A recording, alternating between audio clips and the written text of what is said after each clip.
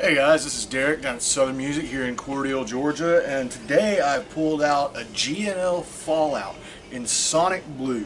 Uh, this guitar is actually brand new. It's never left the store, but it's some kind of new old stock we just kind of pulled out. Um, really, really cool features on this guitar. First off, you have the humbucker in the bridge, and then the P90 in the neck. Maple fretboard, got some really gorgeous flame going up through the fretboard there. Rock maple neck. Uh, kind of a unique design, not really very heavy though. I kind of like that about it a lot. But um, I'm going to go through the different configurations and show you the cool tap feature where we actually have a single coil in the bridge so we can get some twang there too. But let's start off with it just on the humbucker.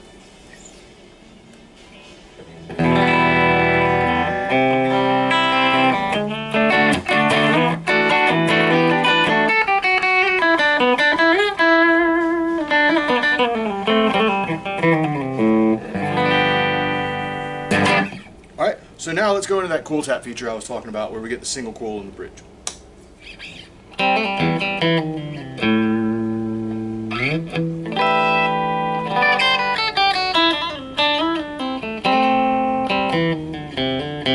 Alright,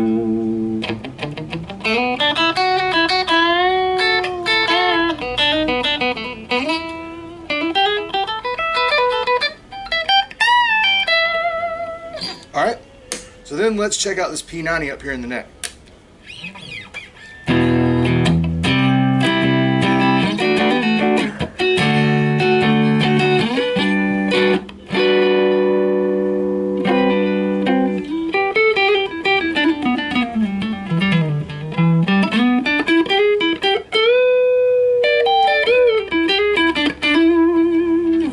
Alright, now let's put a little dirt on it. Let's see what we got there. And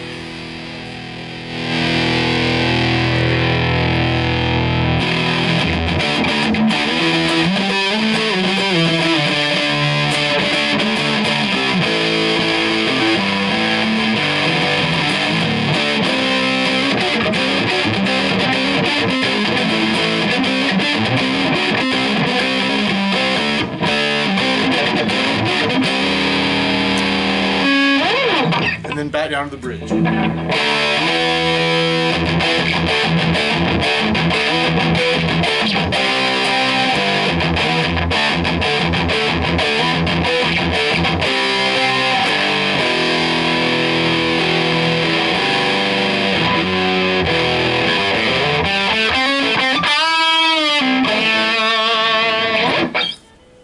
So there you have it. That is the G&L Fallout in Sonic Blue. Thanks for watching. If you're on YouTube, uh, click on the link below and that'll take you over to a Reverb store.